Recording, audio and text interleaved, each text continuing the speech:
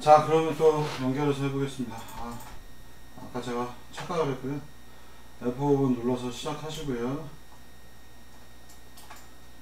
자 여기 로봇을 어, P 컨트롤 30도 50도 대입해서 돌려보겠습니다.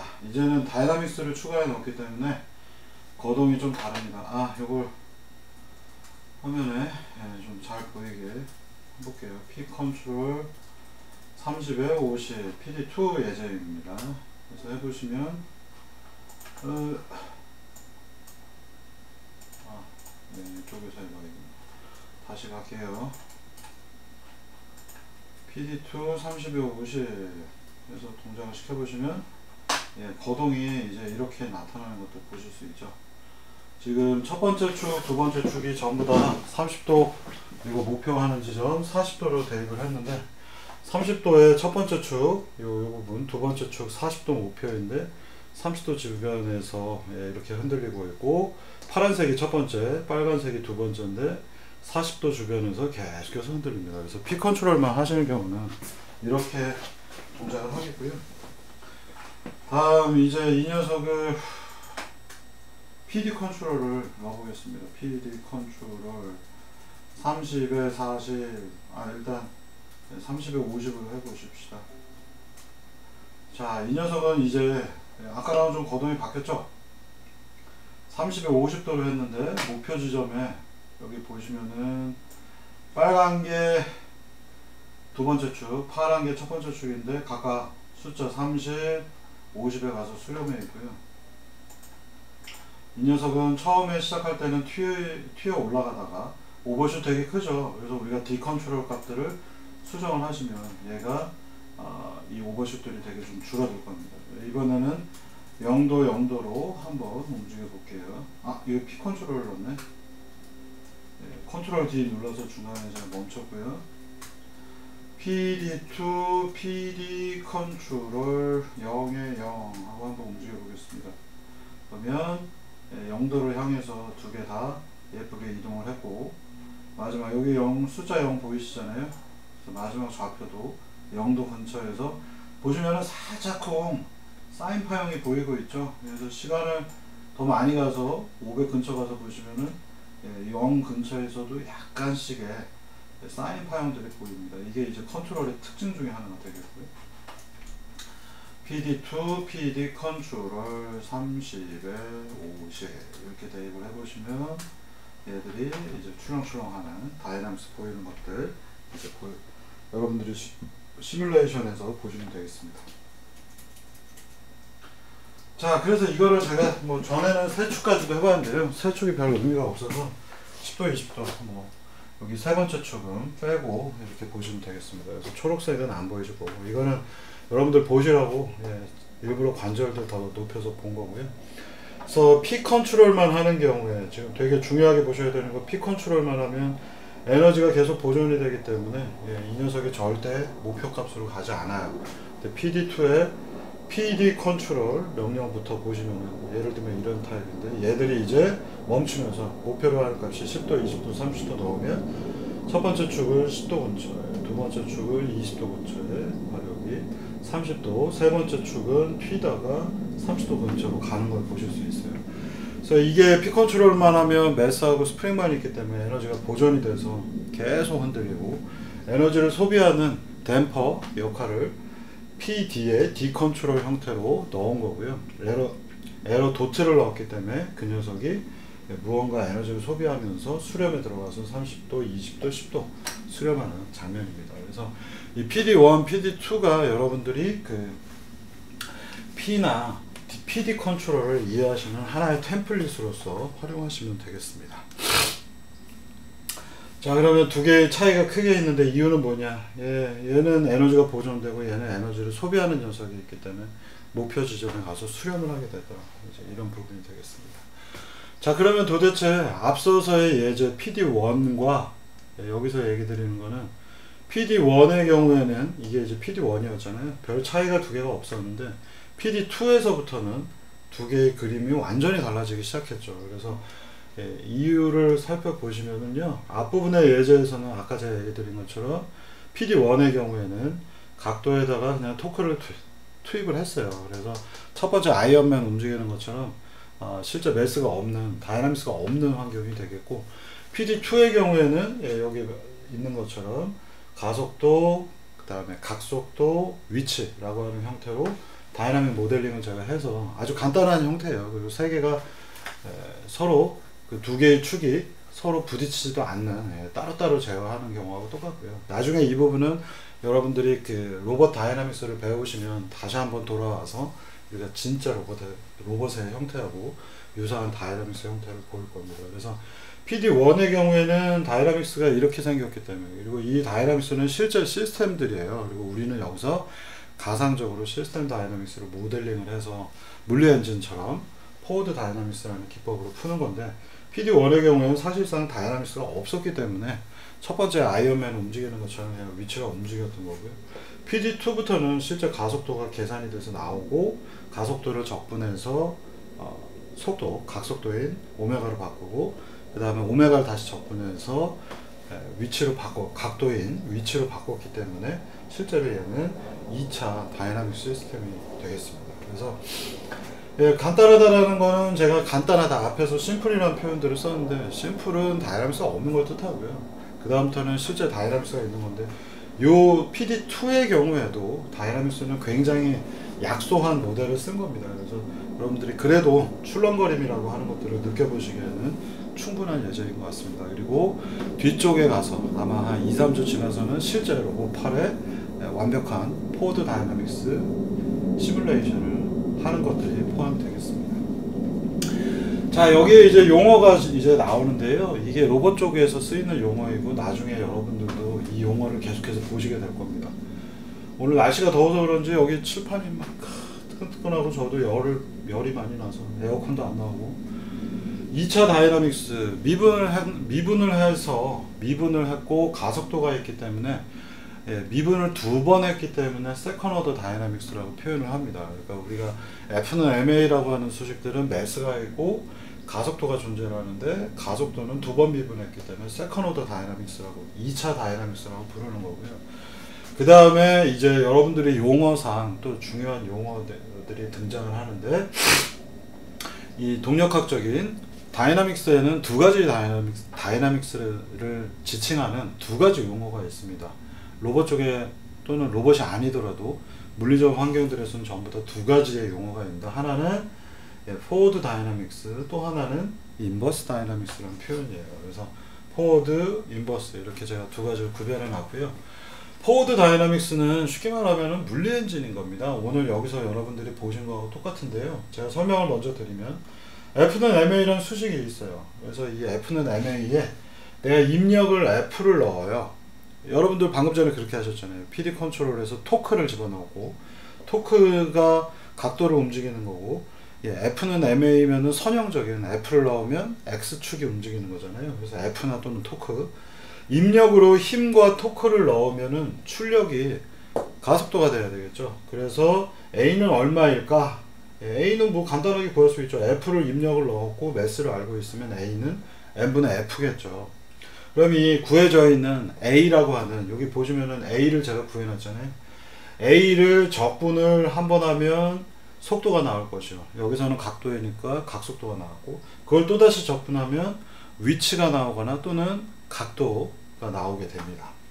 그래서 여러분들이 어떤 건 각도이고 어떤 건 선형 X, V, A 이거는 선형적인 거고요 세타, 오메가, 알파로 표현되는 알파, 오메가, 세타거든요 얘네들은 각도에 대한 것들입니다. 그래서 F를 입력으로 넣고 매스를 아니까 가속도를 구한 다음에 가속도를 적분을 두 번 하면 X라고 하는 위치가 나오는 방법론.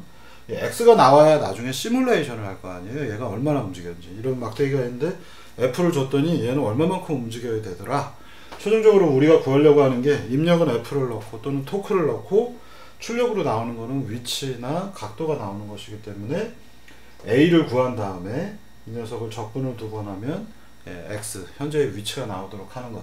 시뮬레이션은 이런 물리 엔진 어, 전부 다 시뮬레이션에서 우리는 F를 넣으면 이게 얼마만큼 움직이는지 알고 싶은 것이기 때문에 이런 것들은 물리 엔진의 역할을 하는 것이고 이런 물리 엔진들은 전부 다 forward dynamics라고 부릅니다. 그래서 forward dynamics가 바로 여러분들이 방금 전에 시뮬레이션 하셨던 system dynamics라고 하는 function 안에 들어가 있는 거고요. 그래서 여러분들은 이 forward dynamics는 뭐 물리 엔진이구나 이렇게 생각을 하시면 좋고 적분을 두 번을 해야 돼요. 대신에 가속도가 있기 때문에 적분 한번 해서 속도 또 한 번 적분해서 위치 예, 그렇게 적분을 두 번 하는 것이 forward dynamics입니다. 그러면 뭐 inverse dynamics는 뭘까요? 얘는 또 유사해요. 얘는 뭐냐면 F하고 F는 MA일 텐데 인풋이 뭐냐면 가속도를 넣은 거예요. 그래서 인풋을 가속도를 넣으면 거기에 적절한 F는 얼마겠구나 라고 하는 것을 계산하는 방법이 F를 최종적으로 구하는 게 inverse dynamics입니다. 그래서 우리가 로봇이 로봇 시뮬레이션에서는 이 두 가지가 다 같이 쓰이는데요. 로봇이 어떻게 움직일지 내가 토크나 힘을 넣으면 얘가 이런 식으로 움직이겠구나 하는 시뮬레이션은 forward dynamics를 쓰고요. 로봇을 이렇게 이렇게 움직이고 싶어. 근데 필요한 토크나 F는 얼마일까? 라고 하는 형태일 때는 inverse dynamics를 씁니다. 그래서 제어 쪽에서는 inverse dynamics를 써요. 왜냐하면 내가 이 녀석을 이렇게 이렇게 움직이고 싶은데 그러려면 force를 얼마를 넣어야 될까? 토크를 얼마를 넣어야 될까? 라고 하는 걸 계산하는 제어 쪽에서는 inverse, 시뮬레이션을 할 때는 forward dynamics 이렇게 두 가지로 분류가 됩니다. 그래서 실제 로봇이 있으면 forward dynamics는 안 해도 되겠죠. 왜냐하면 실제 로봇이 있기 때문에 물리 엔진이 필요가 없는 것이고 우리는 가속도를 따로 구해서 적분해서 위치를 안 구해도 되겠죠. 왜냐하면 실제 로봇이 움직이니까 force 입력을 넣으면 로봇이 움직일 거 아니에요. 토크를 넣으면 로봇이 움직이겠죠. 그때 각도를 읽어올 수 있죠. 인코더를 사용해서. 그래서 forward dynamics나 forward dynamics는 시뮬레이션을 하거나 물리 엔진 만들 때만 쓰이고 실제 제어를 할 때는 inverse만 활용이 됩니다. 여러분들이 뒤에서도 다시 얘기 드리겠지만 예, 되게 중요한 예, 용어적 정의 중에 하나가 되겠습니다. 아 이게 어린이날이 돼가서 그러나 이렇게 수업이 하는데 힘만 들고 이렇게 진도가 오늘 잘 안 나가네요. 자 그러면 이제 방금 전에 보셨던 forward dynamics에서 적분을 하는 것들이 있는데 이 적분이 아 내가 이걸 적분을 해야 된다고 아 적분 나 되게 자신 없는데 예 괜찮습니다 여기서 하는 적분은 수치 해석적인 기법 여기도 지금 보시면 적분 여러분들이 알고 계시는 적분하고 좀 다르죠 수치 해석에 의존하는 적분을 하기 때문에 예, 수식이 좀 간결합니다. 그래서 여러분들이 적분이라 해도 크게 긴장하지 마시고요. 자, numerical method of differentiation and integration. Integral. 수치 해석적인 미분과 적분에 대한 내용을 좀 얘기를 드리겠습니다. 이게 시뮬레이션 하려면 여러분들이 필요하시고 그 다음에 어 실제로 뭐 제어 쪽 이런 거 할 때도 여러분들이 잘 아시죠. 우리 differentiation이라고 하는 미분은 수치 해석적으로 미분하는 거는 여러분들이 이미 할 줄 압니다. 오늘 배웠죠. 어떻게 배우셨냐면 에러 도트 계산할 때 에, 이게 뜬금포로 여러분들이 수치 해석적인 기법들을 잘 모르는 상태에서 여기서 이미 배웠습니다. 에러 도트를 계산을 해야 되는데 에러를 수치적으로 미분을 하는 방법은 예, 기울기 저 여러분들 쉽게 생각할 때 시간에 대한 어, 에러의 미분은 시간에 대해서 에러를 기울기를 구하는 거잖아요. 그래서 델타 t분의 델타 2가 됐죠. 어, 미분할 때 여러분들이 자꾸 그 기울기를 생각하기 때문에 어, 어디 갔냐? 예, 여러분들 고등학교 때부터 많이 배우셨고요. 공학수학 기초에서도 얘기합니다만 x축이 시간이고 이쪽 y축이 에러라면 얘가 이렇게 그림을 그리면 여기서부터 여기까지 미분을 하면 기울기를 구해야 되니까 델타 t분의 델타 2를 구하시면 되겠죠. 그래서 요 기울기를 구하기 위해서 델타 t분의 델타 2 여기서 한 거이고요. 그래서 이미 수치 해석적인 미분에 대한 것들은 여러분들이 오늘 첫, 처음 시간에 내용을 배우신 겁니다. 오늘 목이 좀 잠겨서. 자, 그래서 미분은 어떻게 하는가? 예, 여러분들 뭐 partial derivative, total derivative, 총미분, 전미분 이런 것도 배우셨는데 예, 이 입력 X만 있고 출력 Y만 있는 예, multi가 아니라 하나의 입력과 하나의 출력만 있는 Y는 fx 같은 경우에는 미분을 한다면 미분은 기호 D를 쓰는 것이니까 differentiation은 D가 미분이라고 제가 맨날 얘기했죠. 그래서 양쪽을 둘 다 미분하니까 dy는 그리고 얘를 미분하면 편미분이 x에 대해서 미분한 편미분이 나오고 이 x를 미분한 dx가 등장을 한다. 배웠고요. 편미분입니다. Jacobian 할 때도 얘기했죠. 자, 그래서 우리가 이걸 보통 뭐라고 표현하냐면 f prime x 뭐 이런 식으로 표현하는 것이고 dx가 예, 나눠져서 dx분의 dy는 f prime x고 얘는 편미분 partial x over 아 partial x분의 partial f이기 때문에 예, x에 대해서 y를 y는 뭐냐? Fx는 뭐냐? Y잖아요. 그래서 얘는 델타 x분의 델타 y와 굉장히 유사하다라고 예, 가정하는 겁니다 그래서 이 numerical 수치 해석적인 방법은요 예, limit라고 하는 concept을 최대한 그러니까 최소한으로 되게 작은 값을 넣을 뿐이지 실제로 극한의 개념에 도달을 못합니다. 그래서 얘의 경우에는 partial y over partial x로 되어 있죠. 그래서 partial y 나누기 partial x로 되어 있는데 그걸 편미분을 편미분 결과를 델타 형태로 그래서 델타 x가 너무 크면 에러가 많아집니다.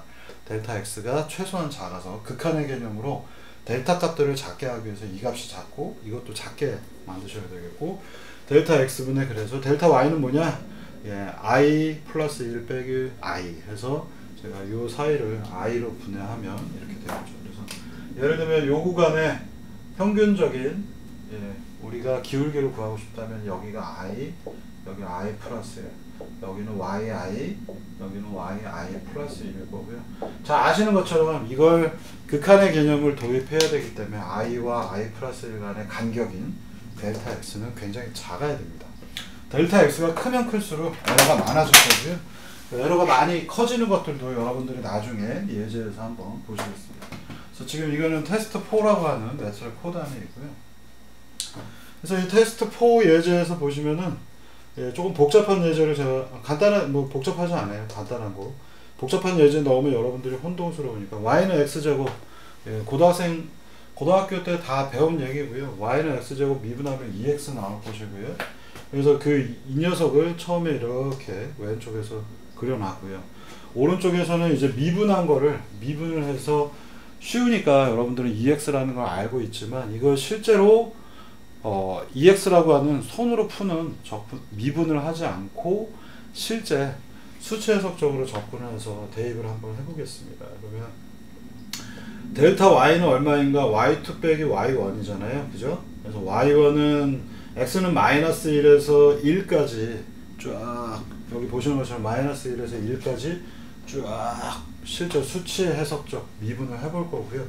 간격은 얼마냐? 델타 x는 네, 더 작게 하면 좋겠습니다만 0.1 대입했고요. 그래서 y1 여기 있는 것처럼 yi 플러스 1 yi인데 네, 제가 그냥 여기가 1번 여기가 2번이라고 했어요. 네, 이걸 y1 이걸 y2라고 하면 y1은 현재의 x값의 제곱 y는 x제곱이잖아요. y2는 x 플러스 dx 예, 실제 여기에 어떤 값이 있다면 델타 x만큼 간 부분을 제곱해서 y1, y2 구했고요. 그래서 델타 y 위에 있는 녀석 요 수식입니다. 델타 y가 바로 요 수식 y2 빼기 y1이 되겠고 그럼 y 도트 예, 미분한 값 yd는 yd yd일 때 dy 마이너스 dx다 라고 예, 이렇게 쳐 넣었습니다.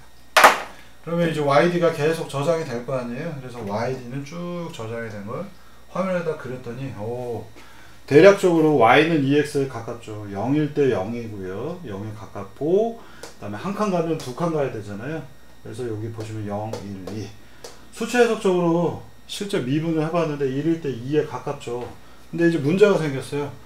이 그림을 보시면 y는 2x에 굉장히 가까운데 조금 틀리죠. 이유는 어디가 틀릴까요? 마이너스 1일 때 x가 마이너스 1일 때 마이너스 2를 정확하게 통과해야 되는데 살짝 요만큼 약간 옵셋이고요. 0점도 정확하게 통과 안 하고 살짝 옵셋이고요. 1까지 갔을 때 이 부분도 조금 에러가 있습니다. 그래서 이 수치 해석적인 기법을 쓸 때에는 왜 여기에 이렇게 에러가 있을까요? 델타 x가 0.1로 좀 큰 값을 넣었어요. 이걸 더 작게 해서 예, 1000분의 1 정도로 대입을 하시면 그래도 에러가 굉장히 적은 y는 EX를 그리게 됩니다. 자 이게 이제 수치 미분에 대한 얘기가 되겠고요. 여러분들은 예, 이 도트라고 하는 것들. 여기서 지금 보신 것처럼 dx가 되게 작은 극한의 개념으로 작아야 되는데 0.1이라는 값을 넣었더니 여기도 에러가 있고 여기도 에러가 있고 이 부분도 에러가 있는 것들. 이거 뭐 사실 중간에 다 있겠죠. 이런 에러가 누적되는 것들을 보실 수가 있겠고요. 그래서 앞서 얘기 드린 것처럼 에러 도트값 계산할 때 어디 갔냐 에러 도트는 dt분의 d2라고 했기 때문에 dt가 델타 t하고 똑같아지려면 그래도 비슷해지려면 델타 t를 되게 작게 넣으셔야 됩니다. 그래서 여기 지금 보시면 델타 t를 0.01 수준으로 하면 그래도 예, 조금 비슷하고요. 보통 100분의 1은 무조건 쓰셔야 되고 예, 추천드리는 값은 1000분의 1 정도는 기본적으로 넣으셔야 됩니다. 그래서 각종 제어 기법들에서 이 델타 t가 예, 이게 무한 루프를 거는데 1초에 몇 번 정도 해야 되냐 델타 t 값이 좀 작아야 되기 때문에 보통 일반적으로 100분의 1보다 훨씬 더 촘촘히 제어를 해야 됩니다. 그래서 델타 t 값을 작게 하기 위해서는 dt가 아, 되게 작아져야 되고 dt는 초당 몇 번 하냐를 가지고 나눈 숫자이기 때문에 샘플링 타임이라고 하는 그래서 초당 한 1000번 정도 하는 것이 예, 평균적으로 좋은 결과를 얻습니다. 그래서 많은 제어 기법들은 예, 초당 1000번을 하려고 노력을 하는 겁니다. 왜냐? 예, error dot를 계산해야 되는데 error dot가 예, error dot 값이 델타 t분의 델타 e라고 하는 형태로 우리가 예, 뭔가 추정치를 넣은 거죠. 예, 그 조금 가정을 한 거죠. 그러다 보니 델타 t가 극한의 개념으로 굉장히 작아야 되기 때문에 0.1, 0.01 같은 거는 그냥 테스트할 때는 이렇게 하실 수 있지만 실제로 제어를 할 때는 예, 1000분의 1초 1ms로 0.001을 보통 많이 습니다.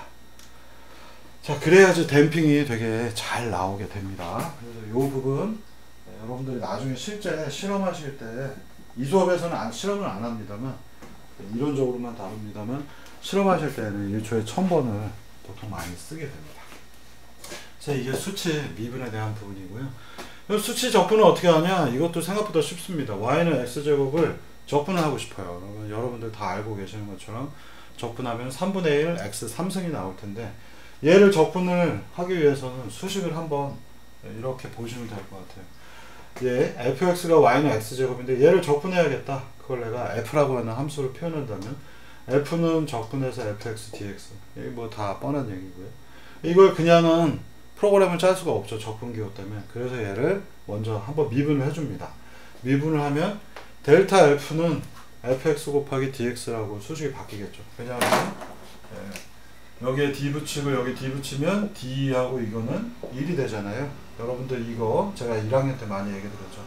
적분한 걸 미분하면 그냥 1이 됩니다. 그래서 두 개가 사라져서 오른쪽은 fx dx만 남고 여기는 적분했으니까 df죠.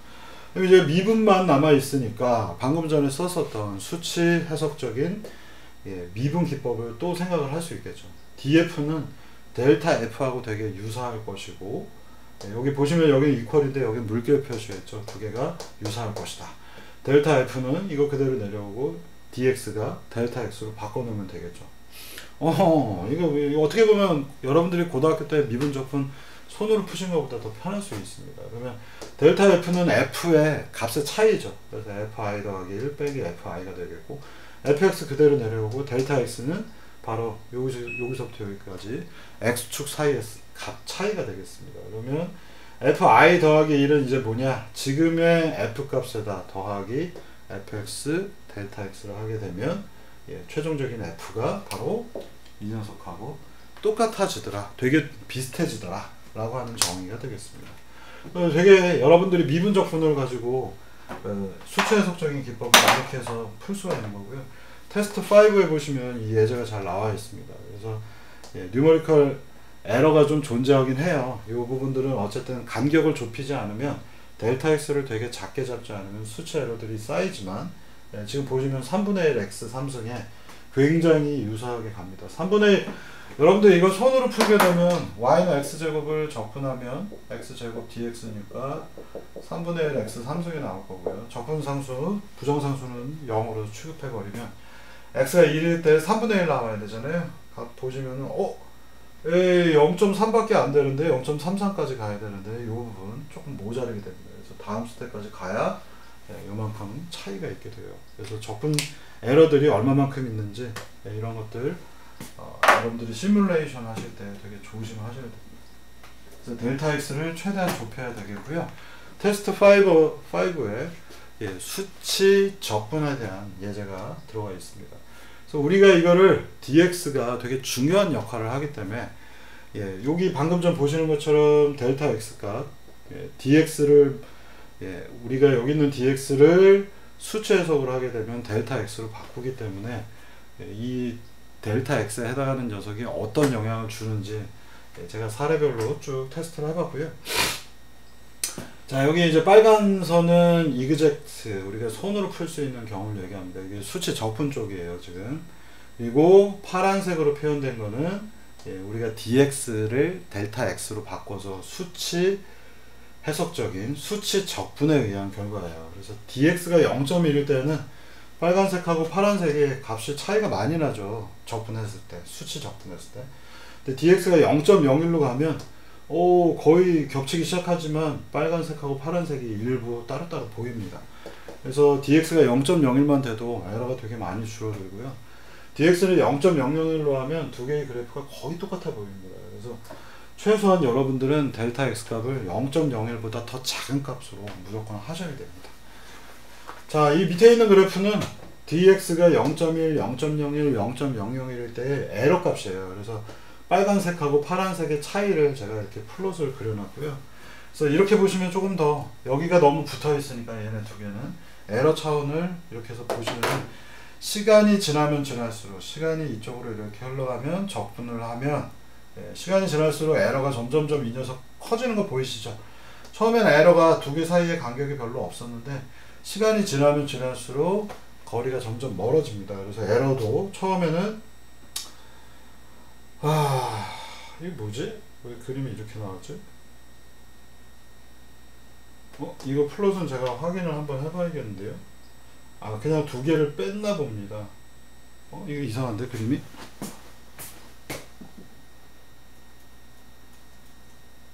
예, 테스트 5 예제를 한번 보고 얘기할게요.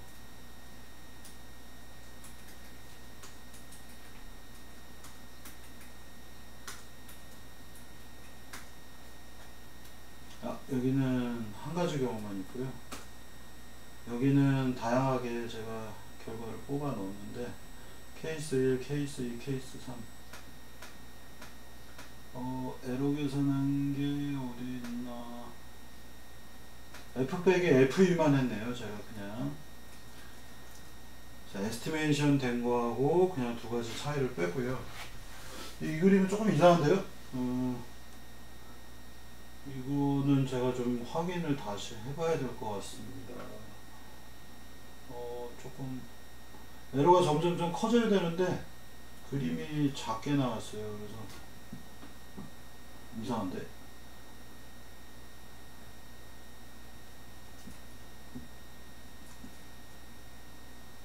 3, 4에는 이걸 그려라 이렇게 있는데 F2를